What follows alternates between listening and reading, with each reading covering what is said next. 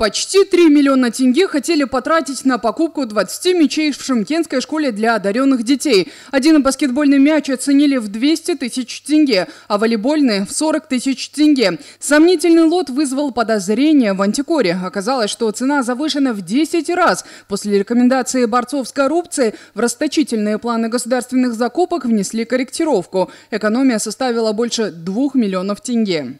Установлен закуп одной из городских гимназий по приобретению 20 мячей на сумму 2 миллиона 700 тысяч тенге. Как показал анализ, один мяч для баскетбола госучреждение планировало закупить на, за сумму 232 тысячи тенге за единицу товара. А мяч для волейбола был оценен в 42 тысячи тенге. После направления рекомендательного письма цена была приведена в соответствии со средней рыночной стоимостью.